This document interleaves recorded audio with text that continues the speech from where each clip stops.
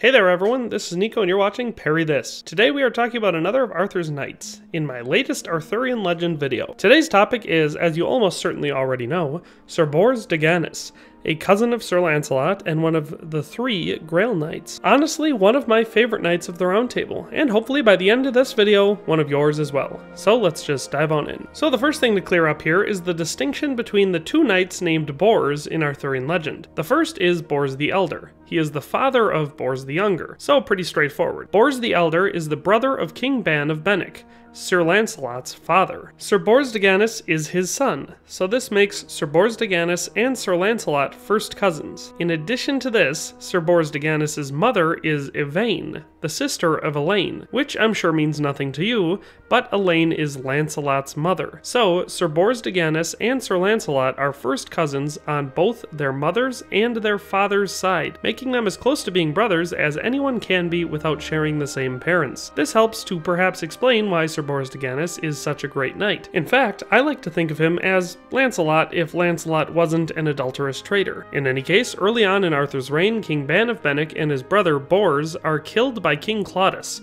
when Arthur is late in rendering aid. At this time, Lancelot was whisked away by the Lady of the Lake, who would then raise him. However, Bors de Ganis and his brother Lionel are raised by Claudas's retainers for several years, before eventually rebelling against them and escaping. Then they were both rescued by a Lady of the Lake, who brings them to Avalon, where they are raised alongside their cousin Lancelot. Here they are all trained and taught by the Ladies of the Lake. They all practice the knightly arts of the sword, horse, and the lance, and become excellent men at arms. They are also educated in courtly courtesy, chivalry, and the seven liberal arts. Eventually, they would all leave Avalon and go to Camelot, where they would all be knighted by King Arthur and become Knights of the Round Table. However, Lancelot is the only one of them that would then be known as Du Lac, or of the Lake. The other two would simply be known as Sir Lionel and Sir Bors de Ganis, respectively, indicating his home, as he was the rightful heir to his father's lands. One of the first events that Sir Bors would take part in was King Arthur's war against Emperor Lucius of Rome. He was one of the four knights that Arthur sent ahead of his army into France to tell Emperor Lucius to leave the land. These five knights were Bors de Ganis, his brother Lionel, and two of Arthur's greatest knights of the time, Sir Gawain and Sir Bedivere. So it is clear that by this time the two knights had already gained Arthur's attention and made at least somewhat of a name for themselves. These four knights would start what would later be known as the Battle of Burgoyne. The four knights went on horseback to the Emperor's camp where they parleyed with the Emperor and his chief advisors. When they arrived, only Sir Gawain as the party leader and Sir Bors would enter the tent and speak with the Emperor,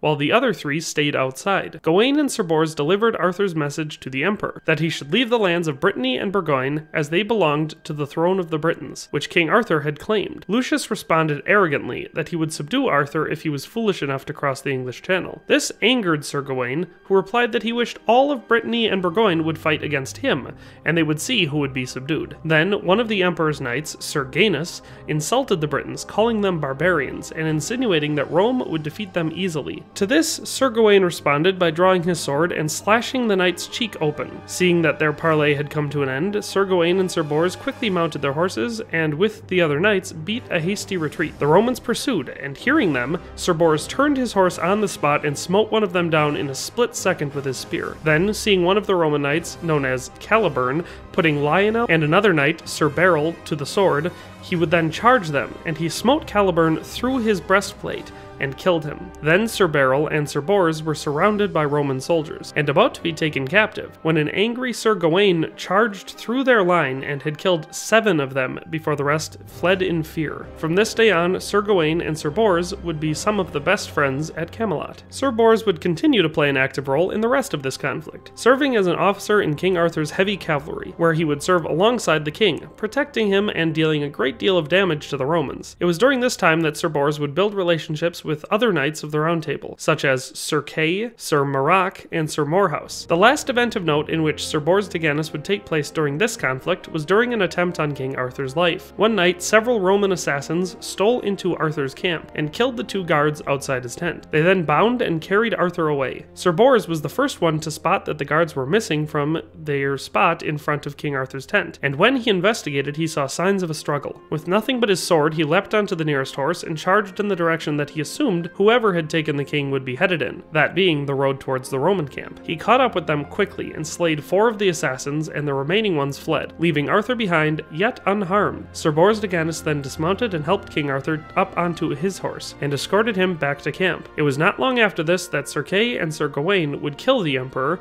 and end the war prematurely. The next event of note in which Sir Bors would be seen was the Great Tournament of the Castle Perilous. Dame Lyonesse had announced a great tournament for all the greatest knights in England to compete for the hand of her sister, Lady Lynette. This was all part of Sir Gareth's most famous quest, so if you want to hear more about it, I invite you to check out the video I made about him, which explains it in full. But in short, this tournament was one of the largest and most well attended in all of Arthurian legend. All of Arthur's greatest knights, as well as all of the other great knights of the land would attend and compete. Some of the famous knights, other than those of the Round Table, that would compete would be Sir Tristram, who was not a knight of the Round Table at this time, as well as Sir Lamorak, Sir Palomides, and the legendary Sir Ironside, also known as the Red Knight of the Red Lands. Sir Ironside was known as one of the most perilous knights in all of the British Isles. He was the one who had almost defeated Sir Gareth, who was one of Arthur's greatest knights. It is said that in this tournament, Sir Bors de Ganis and he would break their spears against each other other so hard that they were both unhorsed and knocked unconscious. One of the key traits that Sir Bors de Ganis is known for is the fact that he is, by choice,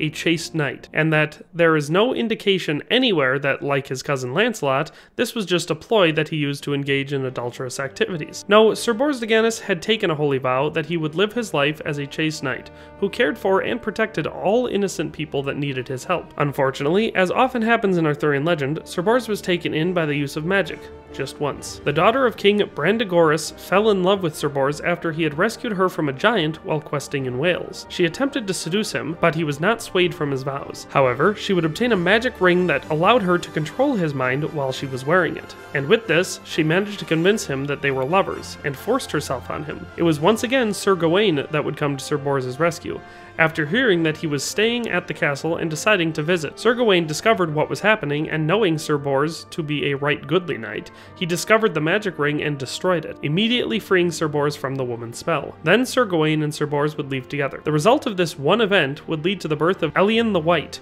who would later become the Emperor of Constantinople but that's a story for another day. There was also a time where Sir Bors de Ganis was tempted by a tower full of maidens, who insisted that if he did not break his vow and make love to them, they would all cast themselves from the tower to their deaths. This was meant to make him decide between his vow of chastity and his desire to protect the innocent. He was, however, not fooled and refused them. The women all jumped from the tower, but did not die, for it was revealed that they were actually demons sent by Satan to try and tempt him to break his vows. There was then another time where Sir Bors de Ganis had to choose between rescuing a maiden who was being carried off by a rogue knight, and rescuing his own brother, Sir Lionel, who was being whipped with thorns by two rogues. He loved his brother greatly, but he knew that Lionel could take care of himself, so he went to rescue the maiden. He was able to slay the rogue knight and free the maiden, who he then returned to her home. Then Sir Bors attempted to go save his brother.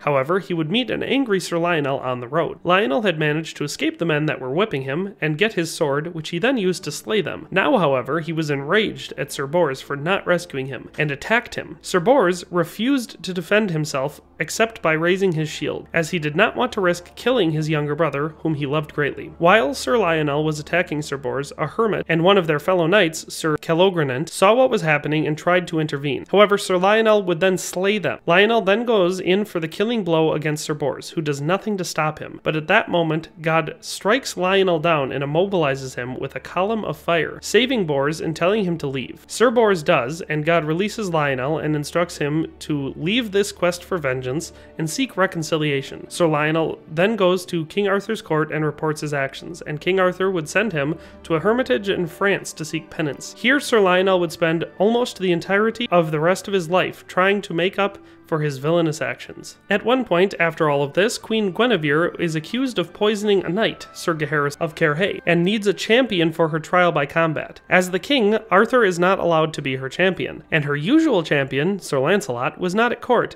as he had left to try and repent for his sins and to be away from her so that he would not commit any more. Sir Bors de Ganis reluctantly agreed to be her champion for Sir Lancelot's sake. However, he does not need to go through with it because right before the joust is set to take place, Sir Lancelot returns and fights for the queen as her champion. Sir Bors de Ganis is also one of the three Grail Knights, that being Sir Percival, Sir Galahad, and Sir Bors de Ganis. This is not to say that they were the only knights that would go on the quest for the Holy Grail, just that these three are the only ones that would succeed, and actually be allowed to see the Holy Grail as they were deemed the most pious and righteous knights of the time. Some of the other notable knights that failed in this quest were Sir Gawain, Sir Gaheris, Sir Gareth, Sir Lancelot, and Sir Dinadan. All three of the Grail Knights would ultimately achieve the quest together and be tested by it in both feats of arms and of the spirit. In the end, after having succeeded, Sir Galahad would experience such joyous rapture that he would request to die and would ascend into heaven. Sir Percival would be reunited with his father and sister, and after his sister's death, saving a sick queen, Percival would spend the remainder of his life as a holy man protecting the Grail and continuing the work of Joseph of Arimathea. Sir Bors is the only knight of the three that would survive and return to Camelot to tell their story. Finally, Sir Bors would side with his cousin Lancelot after Lancelot and Guinevere's affair was revealed to King Arthur. He would staunchly support his cousin in this conflict out of loyalty, even though it meant turning against his many friends at Camelot, namely King Arthur and Sir Gawain, whom had both been great friends and allies to him throughout the years. When Mordred would betray King Arthur and take the throne of Camelot as well as hold Guinevere captive, Sir Bors would accompany Sir Lancelot back to England, where they would fight and kill Mordred's sons, who were continuing the fight despite the fact that King Arthur and Mordred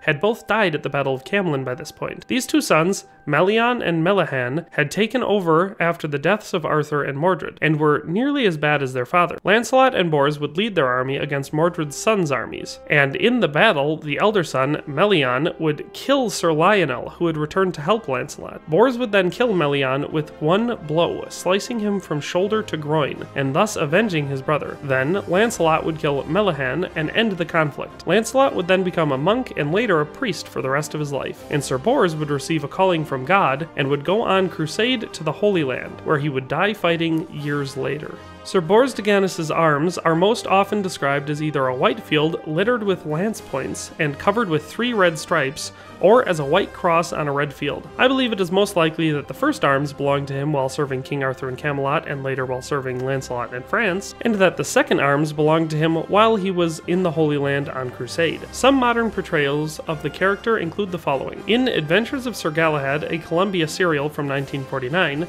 Sir Bors is played by Charles King as a comedy relief sidekick for Galahad. In T.H. White's 1958 novel, The Once and Future King, Bors is described as a misogynist and an almost virgin, and generally something of a curmudgeon. In 1975's Monty Python and the Holy Grail, Sir Bors, played by Terry Gilliam, is the first knight of the Round Table to succumb to the killer rabbit of Caerbannog. Arthur, dismissive of the rabbit, despite Tim the Enchanter's warnings, orders Bors to kill the rabbit to demonstrate that it is of no threat. However, the rabbit leaps through the air and onto Sir Bors, who is quickly decapitated before he can attempt a single blow. And finally, in 2004's King Arthur, British actor Ray Winstone plays a different interpretation of Bors. He is one of Arthur's Roman Sarmatian soldiers and is brash, bold, and violent, in a departure from the saintly earlier figure. So, as per usual, the more modern depictions of this famous character do not do justice to the source material. But in the end, that's all there is to say about this character. Honestly, he is up there for me in my top 5 favorite knights from Arthurian legend. He is extraordinarily skilled and represented as a contemporary of many of Arthur's greatest knights,